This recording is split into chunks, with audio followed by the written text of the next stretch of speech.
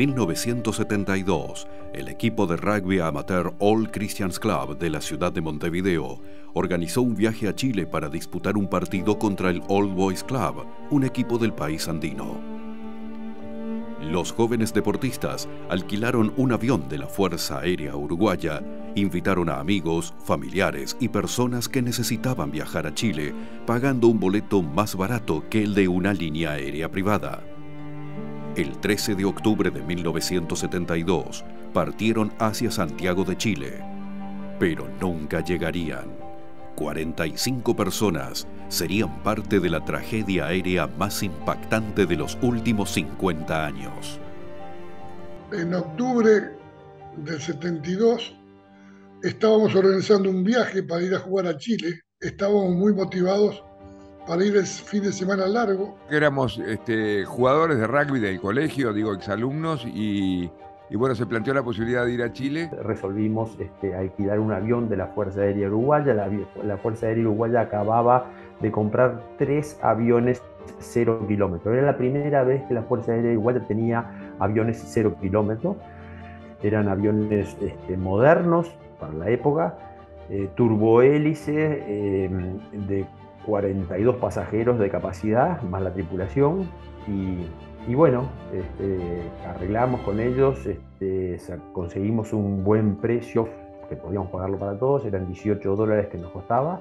Y viajar era algo este, de locos, ¿viste? Entonces tuvimos la oportunidad y bueno, no solamente los del equipo de rugby, sino que también amigos, eh, nos fuimos llamando unos a otros para, para, llenar el avión. Nosotros seríamos 20, 22 personas, éramos el cuadro de rugby, y así fue que invitamos a cantidad de amigos, familiares y una o dos personas que iban a ver familiares que se enteraron que este viaje iba y les salía muy barato, por lo cual se, se sumaron a nuestro viaje.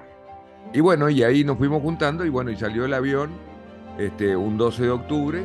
Cuando estábamos llegando por Mendoza, el piloto nos comunica que había una gran tormenta sobre la cordillera, que el avión este, que era un turbo hélice, no podía cruzarlo porque estaba limitado en altura. Y el, las inclemencias de la cordillera nos hicieron que el avión aterrizara en Mendoza.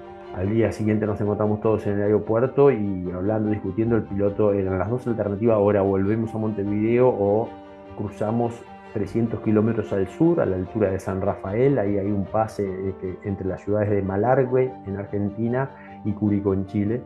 Y eso es un paso más, más bajo donde los aviones de este tipo pueden pasar por ahí. Al final el piloto resolvió hacer esa ruta y allá salimos. O sea que preguntamos en Mendoza y el otro día seguimos hacia Santiago de Chile. Salimos para, para Chile el jueves 13 de octubre del 72, tempranito en la mañana me acuerdo como si fuera hoy, eh, volando paralelo a la cordillera hacia el sur. Este, divina se veía la cordillera, pero con una, una nube gris arriba muy, muy, muy, este, muy tupida, muy densa. Y en un momento el piloto nos comunica, estamos arriba de Malargüe, doblaron y empezamos, si se comienza el cruce, por favor, cinturones de seguridad, no se pueden mover. Y empezamos el cruce y éramos todos divertidos. Todo. Eh, volando entre las nubes, no se veía nada por las ventanillas y en un momento sentimos que el avión disminuye la velocidad, gira y empieza a descender.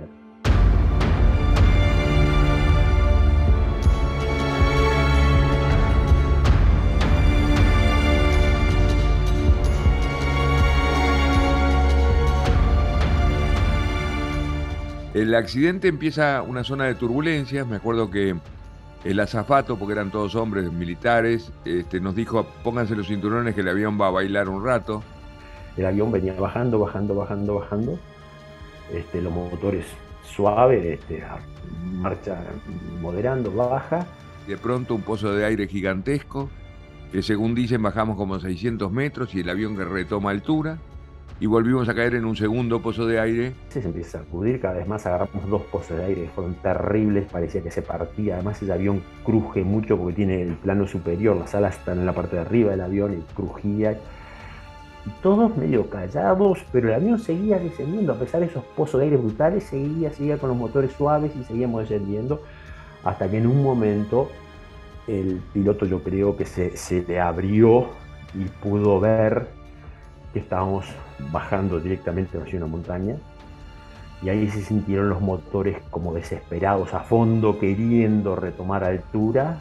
Y ahí sentimos una acelerada bestial de, de los motores, el avión que levanta la nariz y de pronto el impacto más brutal que te puedas imaginar cuando el avión choca con la panza y con el ala y se parte al medio. Y enseguida se sintió el impacto, la explosión, el avión pega de panza en la montaña, se parte se parte en la fila 17, más o menos 17, 18 se parte, todo lo que hay de esa fila para atrás desaparece, el avión pega, se parte y esa punta delantera que queda del 17 para adelante se desliza, se desliza por la montaña, nosotros sentíamos que el avión se deslizaba y se seguía moviendo. Se deslizó como si fuera un trineo durante dos kilómetros, sin tocar una sola roca, o sea, sobre la nieve. En el impacto se arrancan del piso todos los asientos por el golpe de inercia y todos los asientos nuestros volando se iban contra la mampara de los pilotos. Y bueno, y eso hizo de que algunos este, viviéramos y otros, toda la parte de atrás, eh, murieran todos en el accidente.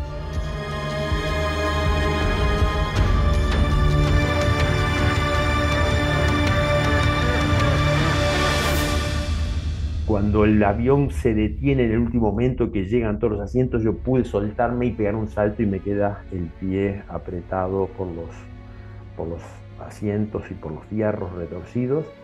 Yo sentía manos abajo que me apretaban el pie de compañeros nuestros que estaban abajo de esa masa de hierros y muertos y heridos. Y empecé a tironear y no salía, no salía, hasta que en un momento dije me arranco el pie, pero yo acá salgo y pegué un tirón y pude saltarme este, mi pierna, no me daba cuenta que nos acabábamos de estrellar en la cordillera de los Andes a 4.000 metros de altura, que en ese momento ya había 18 de nuestros amigos muertos y que estábamos en el medio de la montaña con un frío terrible en el medio de una tormenta de nieve brutal. Fíjate que nosotros caímos a 4.000 metros de altura, donde las nieves son eternas, temperaturas entre 25 y 30 bajo cero, y, además la edad que tenía, yo 18 años nunca había visto un muerto en mi vida, para que tengas una idea, y de pronto quedamos rodeados de muertos, rodeados de heridos. En el accidente se habían muerto casi 16 personas y las primeras noches se desangraron y murieron varios más. Yo nunca había visto una persona muerta y, salgo afuera cuando logré zafar el pie mío de los fierros me encuentro todos esos chicos muertos, algunos muy mal heridos. Yo tenía miedo, yo no me quería acercar, me daba miedo acercarme a ellos.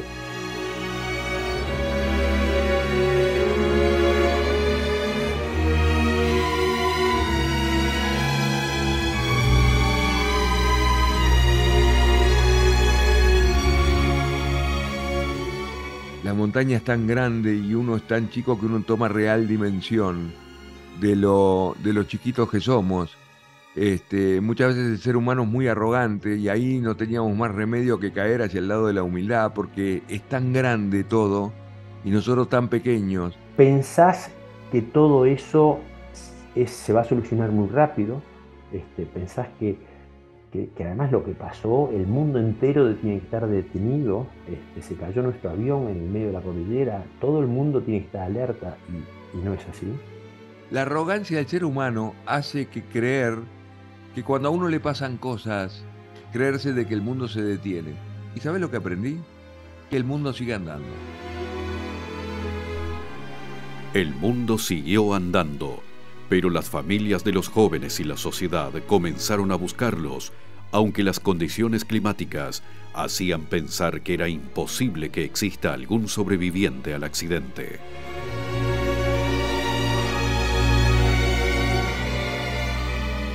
Nosotros nos habremos estrellado a las 4 y media, 5 de la tarde.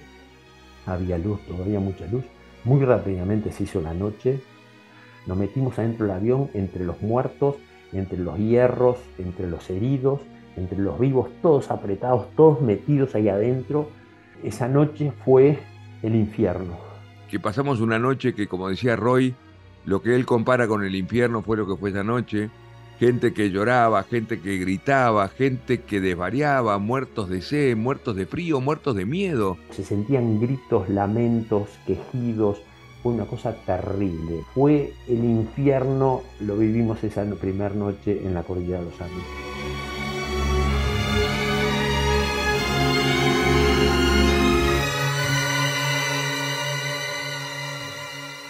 Y bueno, pero la noche del horror pasó y llegó el sábado, un día espectacular, el sábado 14 de octubre, un día divino en la cordillera. Al día siguiente, por suerte, se mejoró el tiempo y ahí empezamos a esperar. Empezamos a esperar que nos vinieran a salvar.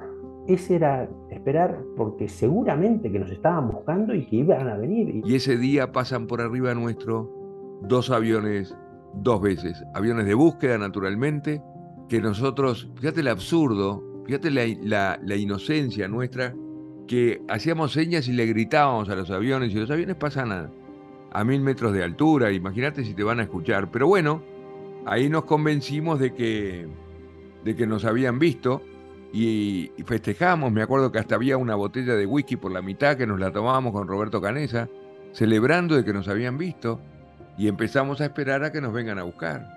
Y empezaron a pasar los, los las los minutos y nadie venía a buscarnos, y empezaron a pasar las horas y nadie venía a buscarnos, y empezaron a pasar los días y nadie venía a buscarnos. Y así pasan 10 días de nuestra historia, donde la actitud nuestra es una actitud de espera, esperando a que la solución viniera del exterior. Y así llega el día 10, que salimos temprano con, con, mi amigo Gustavo Nicolich y escuchamos una radio que se llama Radio El Espectador de Uruguay, que todavía existe, que decía hoy 23 de octubre se suspende toda la búsqueda del avión uruguayo que había en la cordillera. El SAR chileno y la FAU abandonaron la búsqueda aérea. Intensas nevadas desesperadas en la cordillera terminaron el cese de las tareas de rescate aéreo del avión uruguayo desaparecido. Solo continúa la labor terrestre, los cuerpos de carabineros. Ese día escuchamos por radio de que no nos buscaban más, de que iban a buscar los restos nuestros en febrero cuando vengan los deshielos. Fue noticia de último momento, se confirma que el avión Fairchild 571 de la Fuerza Aérea Uruguaya se da por perdido. Nosotros vamos a reanudar, la, la búsqueda en febrero, cuatro o cinco meses después. Una vez que se derrita la nieve, se van a poder ver los techos del avión que son blancos en contraste con las rocas y vamos a poder encontrar el avión y los restos de las personas muertas. Nosotros éramos los restos, nos daban por muerto, se terminaba todo. Fue terrible, fue devastador, fue, fue sentirte este, que te dejaban, que te abandonaban, que te daban, no existías más. Fue muy, muy duro.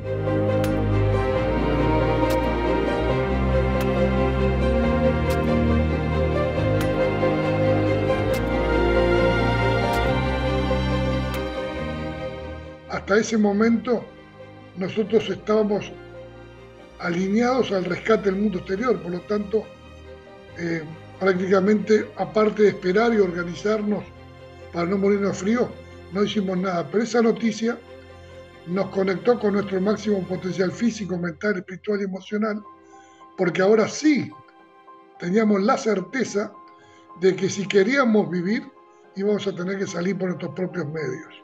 Ese día dejamos de esperar pero empezamos a actuar. Cambia la actitud. La actitud de espera era hasta el momento y de ahí en adelante nos pusimos la historia al hombro, que fue en definitiva lo que nos hizo salir de ahí. Fíjate que gracias a esa mala noticia no tuvimos más remedio que salir a pelear la historia y, empezamos a hacer que las cosas pasen, no dejar que las cosas pasen.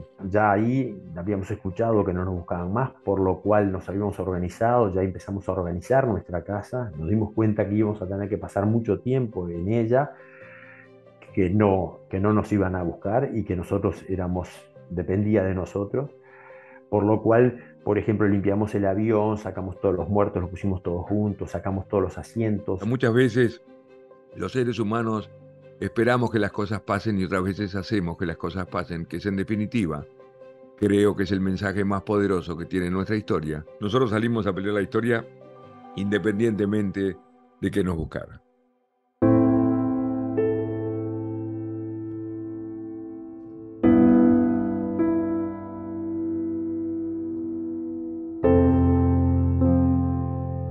Yo en mi cabeza no estaba dispuesto a aceptar que iba a ser un cadáver cuatro meses después.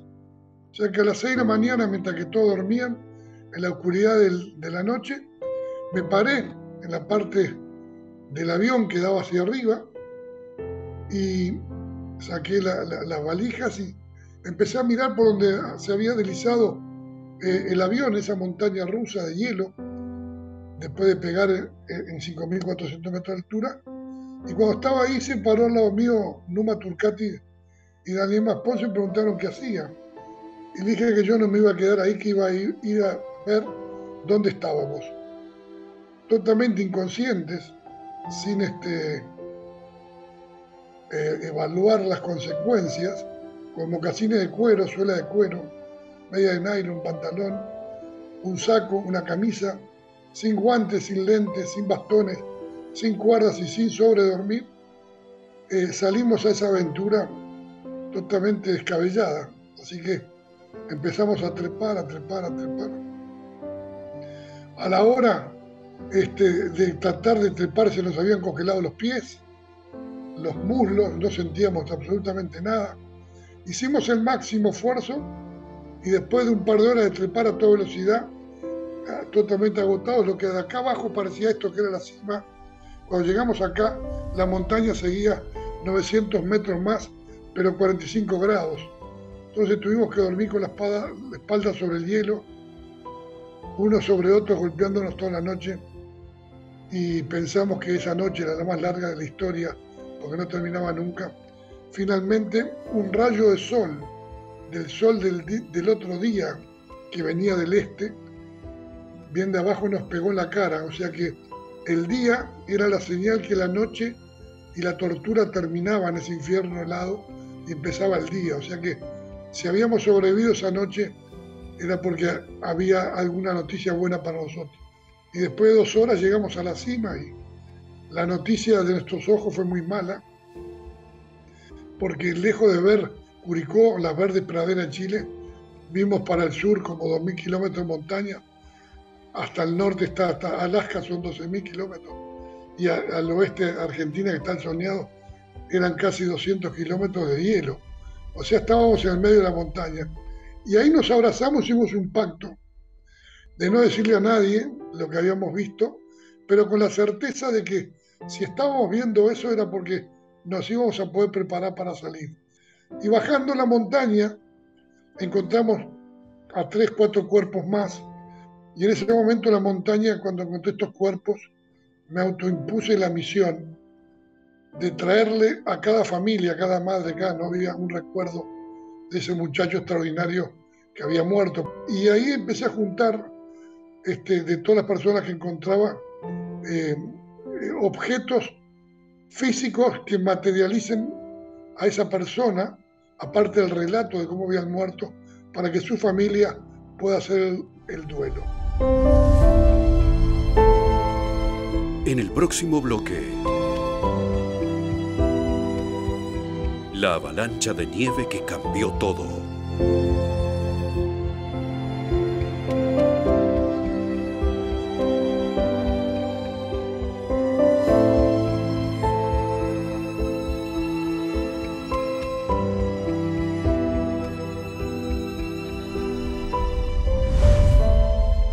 Andes, tragedia y milagro.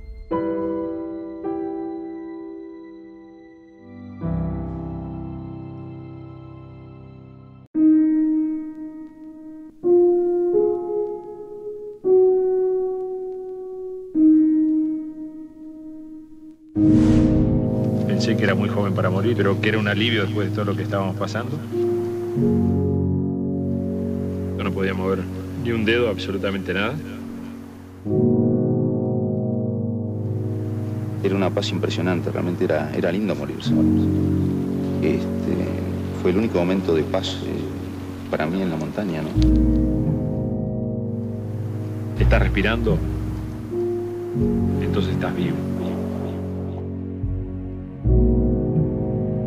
Las tragedias seguirían para los sobrevivientes de los Andes. El día 16, una avalancha mortal sepultó al fuselaje y acabó con la vida de ocho personas.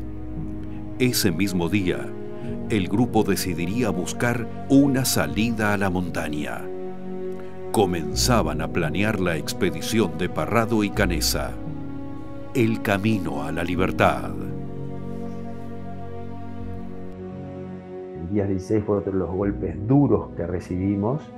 Para mí esto sí fue lo peor que nosotros vivimos. Estábamos dentro del fuselaje, 26 personas, y de pronto sentimos que de lo alto bajaba como una tropilla de caballos el ruido como de una tropilla de caballos y de pronto toneladas de nieve que se nos meten adentro del fuselaje y nos sepultan a todos. Quedamos todos sepultados, una avalancha gigantesca. Una, una avalancha de nieve que vino por el mismo por el mismo marca que había dejado el avión donde se deslizó, vino ahí muy grande y tiró todas las mamparas que nosotros nos podíamos pasar al avión, valijas, mamparas y demás, tiró todo eso y al avión entero lo, lo tapó, entró y lo llenó de la mitad, lo llenó de nieve y después este vino la avalancha que nos sepultó tres días y tres noches en 60 centímetros de hielo apretados contra el techo. Vivíamos ahí 19 personas. Dos quedamos con la cara descubierta, Roy Harley y yo, que él logró salir y salgo yo. Y ahí fue, fue desesperante. Este, no, no pensé que en un momento se morían todos y me quedaba yo solo vivo. Si yo desesperadamente intento buscar a mis dos amigos, estaban enfrente mío y cuando llegué a ellos los dos estaban muertos. Y seguí buscando y Roy lo mismo, destapando a los que pudiéramos. Mueren ocho de nuestros compañeros en la luz. Y así quedamos sepultados durante tres días sin poder salir del fuselaje. Y al tercer día salimos. Nos dimos cuenta que estábamos en un lugar muy peligroso, que en cualquier momento venía otra avalancha y nos mataba a otros ocho compañeros, por lo cual había que tomar una medida, había que salir, había que salir de ahí.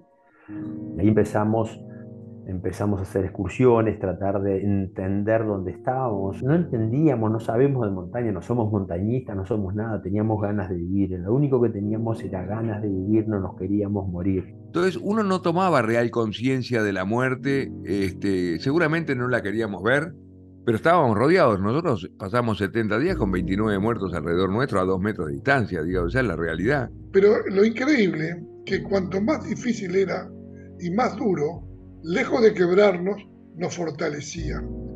Y ahí aprendimos la fuerza de la actitud, que vos podés ver el vaso medio vacío, medio lleno. que lo importante en la vida no es lo que pasa, sino lo que haces tú, lo que haces tú con las cosas que te pasan. La supervivencia llevó a los sobrevivientes a alimentarse de los cuerpos de sus amigos y las personas fallecidas durante el accidente. El equipo hizo un pacto en medio de la montaña. Si alguno moría, dejaba su cuerpo a disposición de los sobrevivientes. Necesitaban alimentarse para poder seguir planeando su escape de la cordillera. Nosotros llegamos al fondo de lo que es la naturaleza del ser humano. Tan al fondo llegamos que decidimos comer los cuerpos de nuestros amigos, que era la única fuente de energía. Y para nosotros no fue un, shock, un golpe, para nosotros era natural porque era lo único que teníamos para sobrevivir. Tuvimos que tomar la decisión de alimentarnos de nuestros compañeros muertos después de 10 días de no comer absolutamente nada porque no había otra opción. Nosotros intentamos comer suela de zapatos, intentamos comer cigarrillos, hicimos todo eso y bueno, y al final tuvimos que tomar esa decisión que fue la decisión fue que nos permitió vivir. Como la carta que escribió Gustavo Nicolich, maravillosa, a su novia y a su, madre, que le relata que le pedíamos de lo más profundo de nuestro ser a Dios que este día no llegara, pero ha llegado y tenemos que aceptarlo con valor y fe fe, porque si los cuerpos están ahí, es porque Dios los puso. Después dice, y si llega el día en que yo pueda ayudar a mis amigos con mi cuerpo, lo haría con mucha alegría. Un chico de 19 años estaba demostrando el pacto de amor más grande que hicimos nosotros y lo estaba contando. Alguien que murió a la madre y a su hermana, cómo habíamos sobrevivido. Algo que este, fue muy importante para que vean cómo el día antes de la avalancha, él ya había donado su cuerpo. Nosotros peleábamos por, por vivir. Pero en la medida de que quieras vivir, no te queda otro remedio. O sea, es una decisión que la tomamos nosotros, pero la hubiera tomado cualquiera. Digo, viviendo el proceso de 10 días de no comer absolutamente nada y de saber de que no te buscan más. Y ahí fue donde hicimos ese pacto solemne entre todos nosotros, que si alguno de nosotros moría quedaba a disposición de los demás.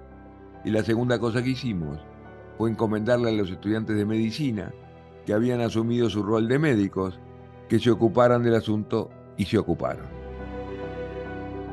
El día número 62, Roberto Canesa, Fernando Parrado y Antonio Vicentín salieron en su última expedición en busca de la ayuda que los liberaría finalmente de los Andes. Los demás supervivientes les habían preparado una ración especial de comida que duraría 15 días y una bolsa de dormir especial para que soporten el frío crudo de la cordillera. En un momento de la travesía, los tres amigos decidieron que Vicentín volvería al fuselaje y les dejaría la comida.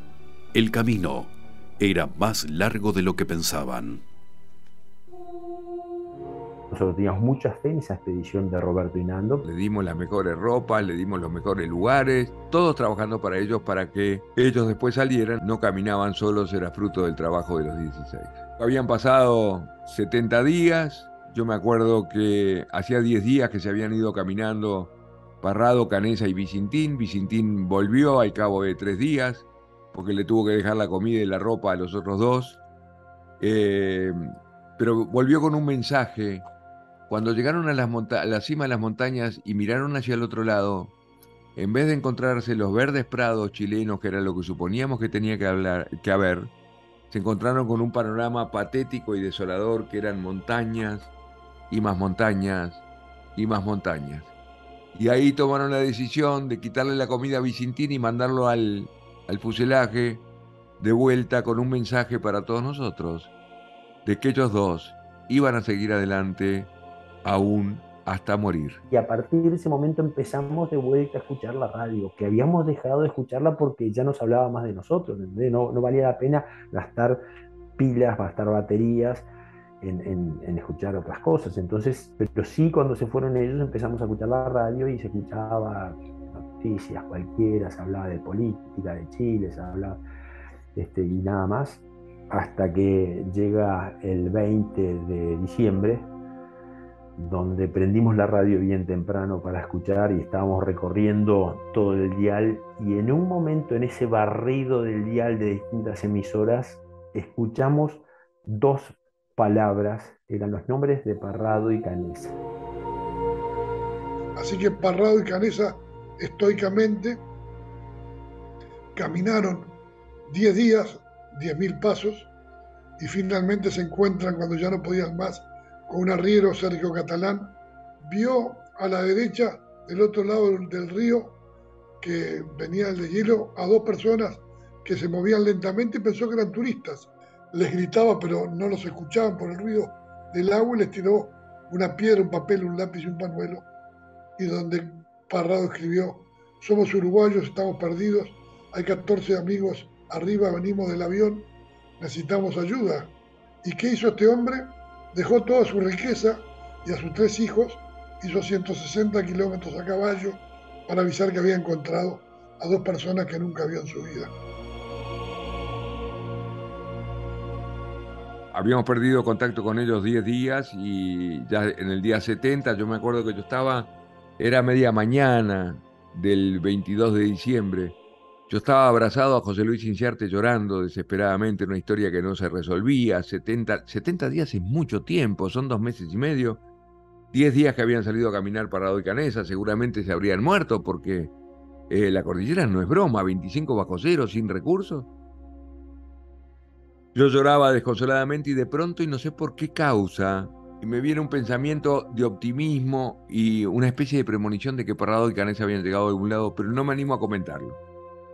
Media hora más tarde, Daniel Fernández, que se despertaba, me dice, Carlitos, acabo de soñar que Parrado y Canesa han llegado a algún lado. Yo le digo, yo tengo la misma sensación. Y prendimos la radio. Y así como prendimos la radio, estaban hablando del avión uruguayo y cambiamos el dial. Todas las radios estaban hablando de lo mismo hasta que una radio captamos al embajador uruguayo, César Charlone, que estaba en el aeropuerto de Pudahuel, en Santiago de Chile, y él dice, señores, debo decir que es oficial que han aparecido Fernando Parrado y Roberto Canesa. Imagínate lo que fue para nosotros escuchar esos dos nombres porque solamente escuchando esos dos nombres sabíamos que era el final de nuestra historia, que era el final de nuestro dolor, que era el final de nuestra angustia, pero por sobre todas las cosas era el principio de la libertad, era por lo que habíamos peleado. Solamente el escuchar en la radio Parrado y Canesa los nombres, sabíamos que eran ellos, sabíamos que habían llegado, sabíamos que estábamos salvados.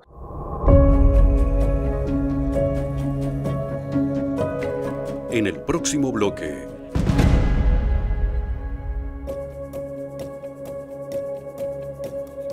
El rescate del accidente aéreo que conmovió al mundo.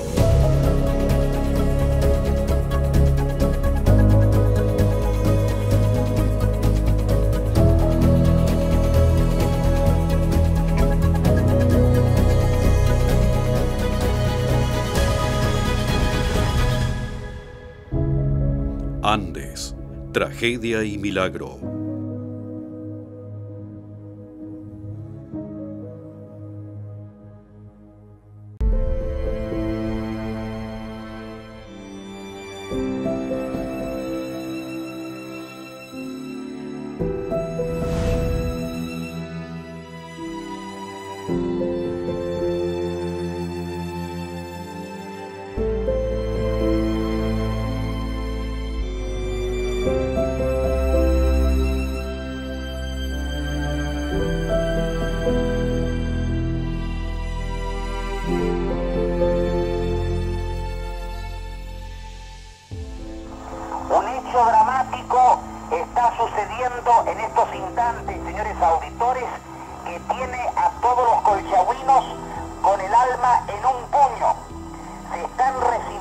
Recibiendo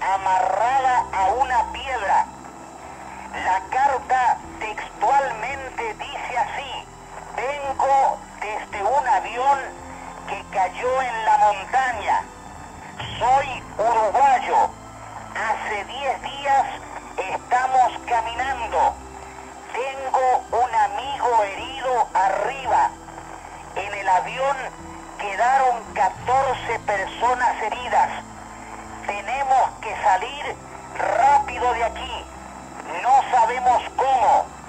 No tenemos comida. Estamos débiles. Por favor, vengan a buscarnos. Ya no podemos ni caminar. Hasta aquí esta dramática misiva que le enviaron al arriero. De inmediato, Carabineros de San Fernando envió una patrulla al mando del capitán Leopoldo Viga, todas las medidas para llegar al lugar.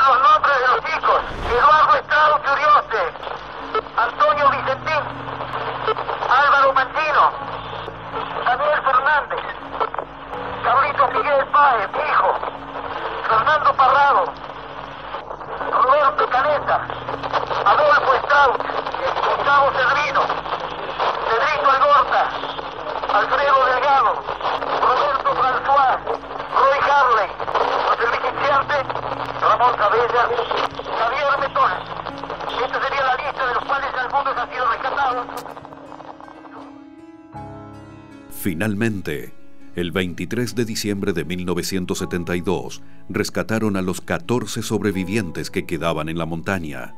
Los jóvenes uruguayos volvían a la vida que tanto anhelaban. Y nos pusimos a esperar, después de esa noticia, de esos nombres, nos sentamos a esperarlos. Nos tratamos de, de acicalar, de peinarnos, de lavarnos la cara, de cortarnos algún pelo y empiezan a pasar las horas, empiezan a las 9 de la mañana, a las 10, las 11, las 11, 11 y media, y nadie se animaba a preguntar, che, ¿por qué no han llegado aún? ¿Entendés? Era, nos daba miedo preguntarlo. Empezamos a escuchar en la lejanía y cuando, cuando, vean, cuando, cuando vean un helicóptero que se, se aproxima verán que es un ruido que se siente desde muy lejos, sobre todo si hay montañas alrededor que se empezaba a aproximar cada vez más, cada vez más, hasta que de pronto irrumpen en ese valle. Yo los veía como dos pájaros portadores de libertad. El ver volar esos helicópteros con el golpe de las aspas, el ruido de los motores, el golpe de las aspas, volaban ahí arriba, una, una locura fue ese valle se convirtió en una locura de ruido, de gritos, levantamos los brazos, esa foto famosa que estamos todos parados saludando así. Nando en el helicóptero, Nando lideró y guió los, los helicópteros hasta el lugar. Y empiezan a bajar y de 4 o 5 metros de altura se descuelgan tres personajes del cuerpo de socorro andino chileno y cuando uno de ellos cae sobre la nieve empieza a gritar mi nombre. ¿Quién es Carlitos Páez? ¿Quién es Carlitos Páez? ¿Quién es Carlitos Páez? Yo digo, ¿y este personaje a mí de dónde me conoce? Yo me caí hace 70 días, no sabía ni dónde. Le grito, soy yo, y me dice, no, es que tengo dos cartas para usted. ¿Cómo dos cartas para mí? Yo no entendía nada. Y ahí me entrega dos cartas, que esta es el original, este, que decía así, querido Carlitos Miguel, como ves nunca le fallé, te espero con más fe en Dios que nunca tu madre llega o mamá llega ahora nomás a Chile, un abrazo, el viejo. Cuando abro el segundo papel, que era dirigido a todos, una carta más linda, decía, hola chicos, aquí les mando este helicóptero como regalo de Navidad.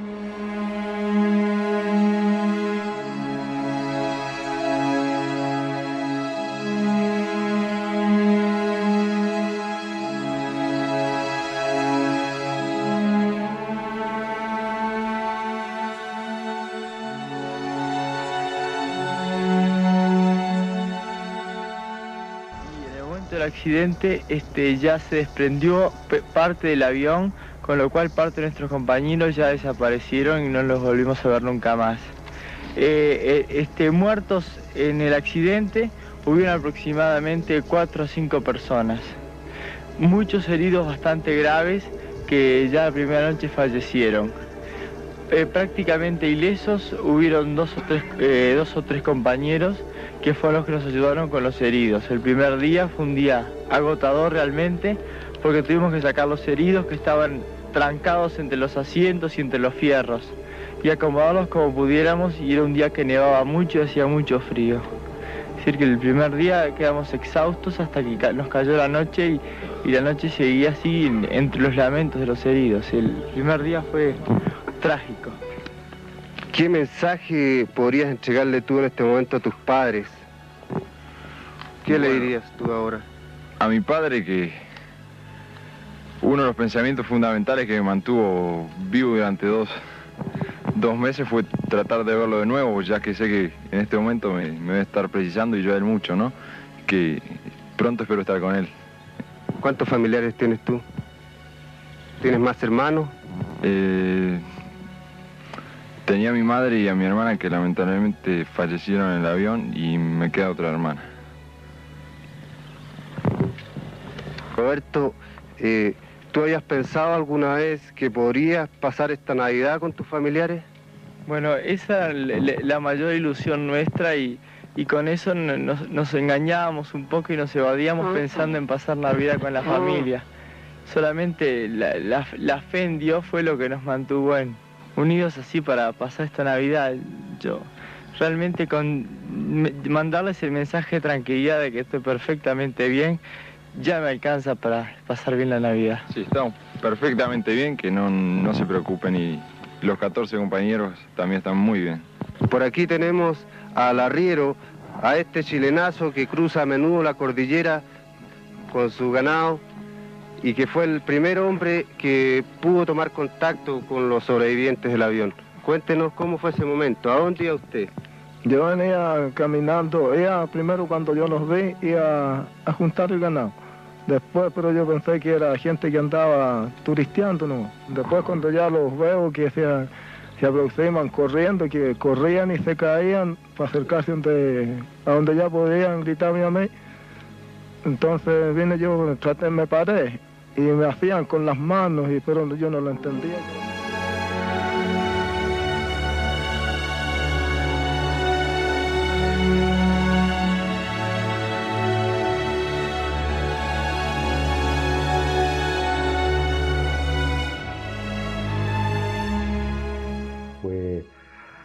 volver a la vida, este, mi, familia recuperaba un hijo, un hermano que lo habían dado por muerto. En mi casa a mí me habían dado por muerto porque era lo lógico, era lo razonable y era lo que tenía que ser. Yo pesaba 37 kilos, yo estaba muy mal y bueno, pero felices, felices de estar vivos, felices de encontrarnos con la familia, felices de, de haber logrado lo que logramos. Para ellos fue impactante este, y realmente fue impactante para el mundo entero. Digo, reaparecer después de 70 días es una cosa eh, rarísima. En Uruguay, los esperaban en el aeropuerto. El país quería ver a esos chicos que habían logrado sobrevivir a la cruda cordillera. Apenas llegaron, dieron una conferencia de prensa en el gimnasio de su colegio, donde para sorpresa de muchos, hablaron de cómo se alimentaron durante 72 días para sobrevivir.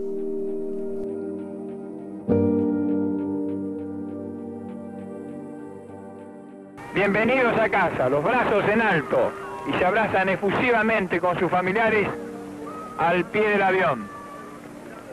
Y desde aquí nos es muy difícil. ¿Este momento para ti qué significa?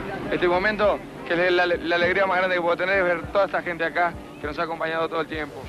Nosotros pensamos, si Jesús en la última cena repartió su cuerpo y sangre a todos sus apóstoles, ahí nos estaba dando a entender que nosotros debíamos hacer lo mismo, tomar su cuerpo y sangre, que se debía encarnado.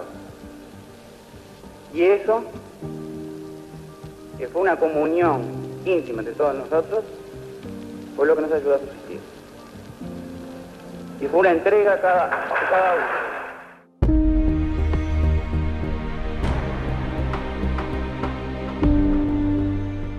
la llegada a Montevideo, a mí me pasó que, ahí, fue, me, ahí me di cuenta de que mis amigos habían muerto. Nosotros en la cordillera no, no teníamos tiempo de sentarnos a llorar a nuestros amigos.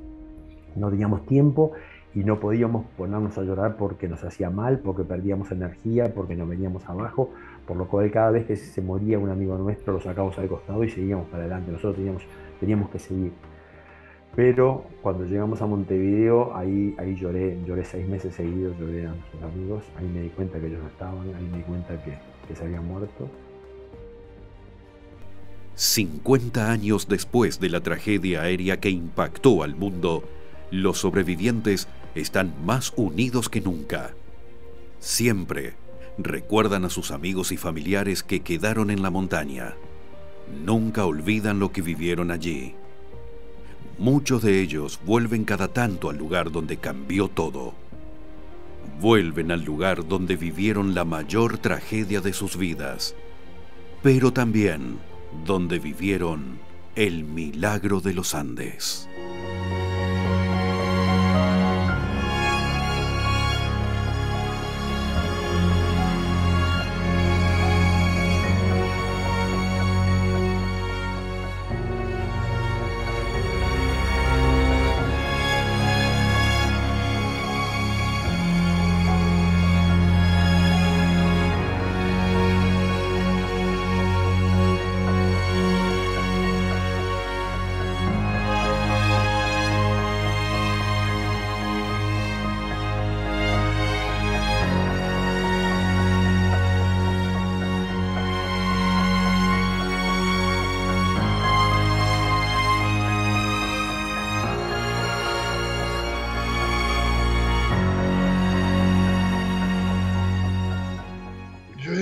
Vida es una fiesta a la que venimos sin ser invitados y nos vamos a ir sin darnos cuenta.